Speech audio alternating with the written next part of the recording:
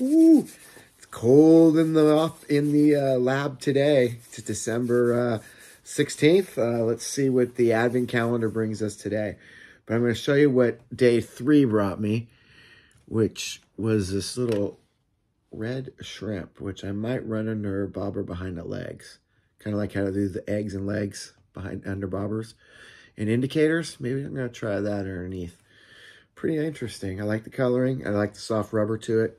Could be an effective lure. So I got that on December 3rd. And let's see what the 16th brings us here. So we did that one. Getting ready to pop the 16th right here. Oh, wow. what a trip. So we ended up getting, looks like a, a cousin to the one I just showed you. Let's see if I can get this open here. Hmm.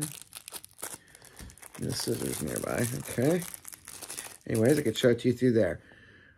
So it looks real similar to this guy. In fact, exactly the same, but in a blue. So, hey, I'll take it. We'll give it a try. Any given uh, any given day, you never know what color is going to work. But uh, here's December 16th, and um, we'll do the 17th tomorrow. Talk to you later, guys. See you on the river.